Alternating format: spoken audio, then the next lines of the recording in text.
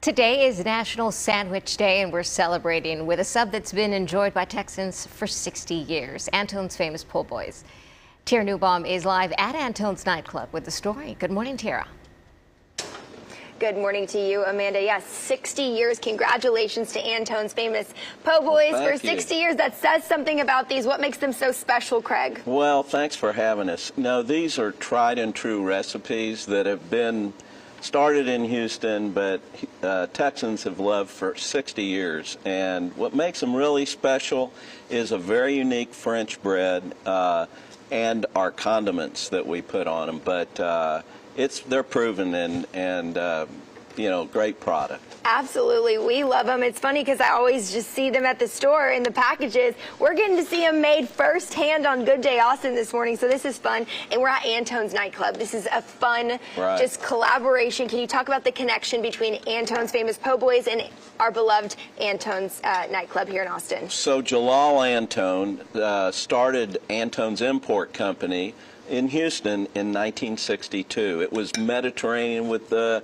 olives and spices and, and things like that. But he decided he needed a sandwich to get more business. A friend of his told him that he needed to put a condiment on the sandwich that Southerners would like, and that was the evolution of chow chow, which is really our famous chow chow relish that's uh, on the sandwich.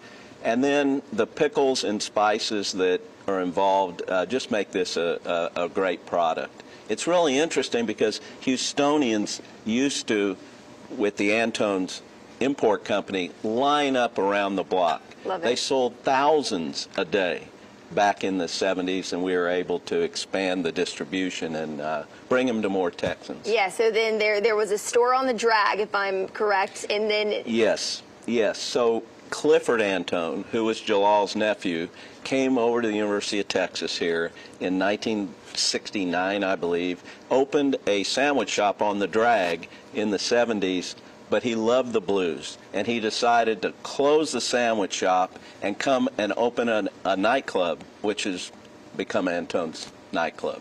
Well, and so it's the same family. And so it's great to bring food and music together. Uh, you know, it's it's a great way to to uh, for the brand to evolve. Just an incredible story. We love to bring food and music together, absolutely. And concert goers here at Antone's can enjoy the subs. Which one is your favorite? Can you break down a couple of them for us? Yeah, so you know the tuna recipe. We make this tuna every day in our commissary. It's the same tuna that Jalal made in the '60s. It's a wonderful product. That I like that one. And my other favorite is turkey and Swiss. And what makes that unique is our sweet and spicy pickles that we put on the product product Always the sauce. The secret is in the sauce. I love it, Craig. Chef, you're killing it. And uh, I'm going to get my gloves on, Amanda. We'll check back in with you guys in the 8 o'clock hour. Make some subs. Might even have a little delivery for you guys in the newsroom. So uh, stay tuned. We'll check back in. But just love the story behind music and food. And happy National Sandwich Day. Who doesn't love a good sandwich? Mm, on French bread, nonetheless, with a good, good spread Oh, there. the bread itself smells just phenomenal this yeah. morning. I mean, the bread itself is a meal. Uh, Tara, thank you.